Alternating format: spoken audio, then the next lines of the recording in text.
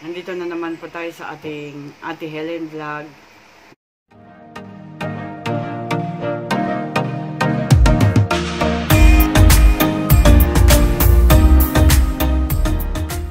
Ang topic po natin ngayon ay tips sa pag-iipon. Ang gagamitin po natin sa pag-iipon ay yung alkansaya sa Tagalog. Sa English po, pwede po dito yung piggy bank. Or kahit anong bagay na pwedeng gawin pong uh, alkansaya or alkansya. Yun po. Siyempre po, bago po tayo magsimulang mag-ipon, magdadasal muna tayo para matupad yung ano natin, goal natin. Kasi kung wala tayong guidance, baka hindi natin kaya sa sarili natin.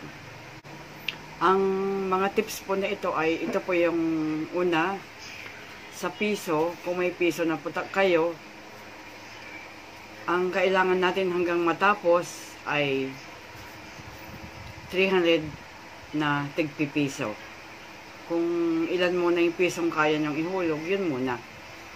Kapag lalagyan nyo na lang po ng tanda yung kung ilang piso na po ang naihulog ninyo. Hanggang matapos po yung kung 9 months po kayo mag-iipon para sa panganganak nyo, hanggang matapos na yung 300 na tigpipiso. Doon naman po tayo sa taglilima. Ayan. Pag tiglilima naman, kailangan nyo po ng 240 na tiglilima. Hanggang matapos na din po ito. At ang, ang halaga ng 240 na tiglilima ay 1,200 na siya. Yung tig sa 10 naman po, 200 pieces ang kailangan pong ihulog. At ang halaga nun ay 2,000 pesos na sa 20 o 20 pesos, 100 pieces po siya. 2,000 pesos din ang halaga. Sa 50 pesos o 50, 50 pieces ang ilalagay natin. 2,5 po ang halaga nun. Sa 100 pesos isang daan, 50 na tigi isang daan. Magiging 5,000 po siya sa 200 pesos na dalawang daan, 200 pesos dalawang daan, ito yung 50 pieces din. Magiging 10,000 pesos siya. Sa 500 or 500 piso ay 30 ang kailangan natin maihulog. 15,000 na po yun ng 30. At yung tigwa 1,000 o 1,000, 18 pieces ang kailangan natin maihulog magiging 18,000 siya.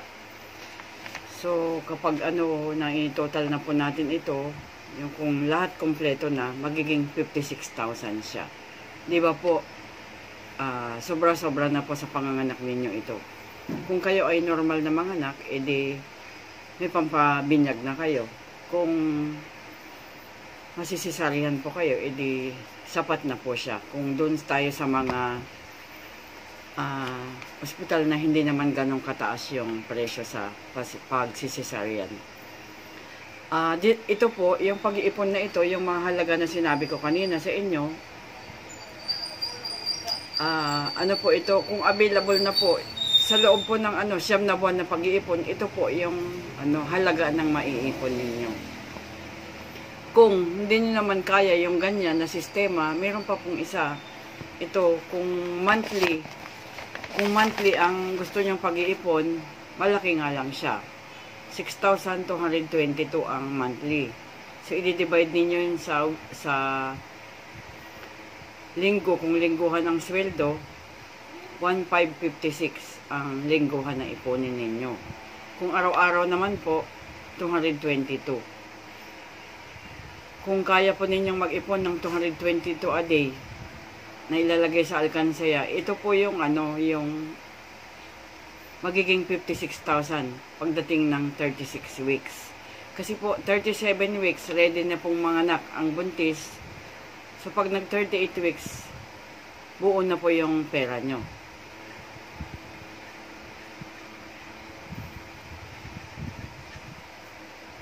Ayun po. yun po yung tungkol sa pag-iipon. Ah, sana po may encourage po ko, po kayo na mag-ipon para pag manganganak na kayo, edi wala kayong problema sa financial.